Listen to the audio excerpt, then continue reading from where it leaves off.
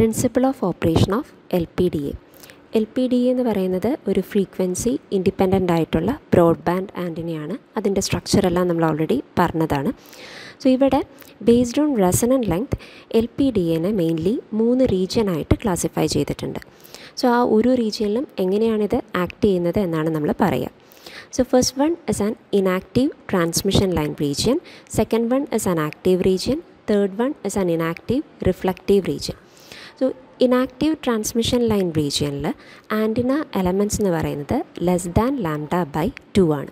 So inactive transmission line region എന്ന് പറയുന്നത് അപ്പെക്സിന് അടുത്തുള്ള റീജിയനാണ് സോ നേരത്തെ നമ്മൾ പറഞ്ഞു അപ്പെക്സിന് അടുത്തുള്ള റീജിയൻ ആണ് എങ്കിൽ അത് ഡയറക്ടേഴ്സ് ആയിട്ടാണ് ആക്ട് ചെയ്യുക.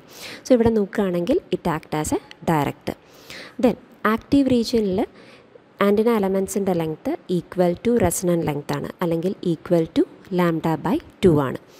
Then in reflective region antenna എലമെൻസിന്റെ length greater than lambda by two ആണ് അല്ലെങ്കിൽ ഗ്രേറ്റർ ദാൻ റെസണൻ ലെങ്ത് ആണ്.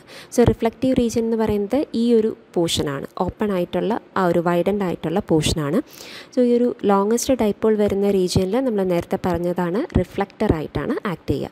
So it act as reflector then in transmission line റീജിയനിൽ ഇമ്പിഡൻസ് നോക്കുകയാണെങ്കിൽ കപ്പാസിറ്റീവ് നേച്ചറാണ് കപ്പാസിറ്റീവ് നേച്ചറാണ് എങ്കിൽ current leads the voltage by ninety ഡിഗ്രിയാണ് active റീജിയനിൽ ഇമ്പിഡൻസ് റെസിസ്റ്റീവ് ആണ്. റെസിസ്റ്റീവ് ഇമ്പിഡൻസ് ആണ് എങ്കിൽ current and voltage in phase ആയിരിക്കും.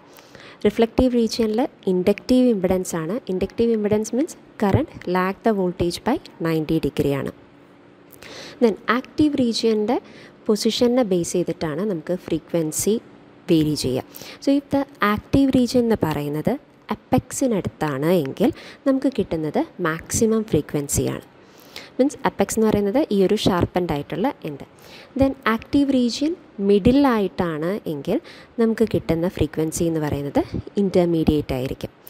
ആക്റ്റീവ് റീജിയൻ ലോങ്ങസ്റ്റ് എലമെൻസിനടുത്താണ് എങ്കിൽ നമ്മുടെ ഫ്രീക്വൻസി എന്ന് പറയുന്നത് മിനിമം ആയിരിക്കും.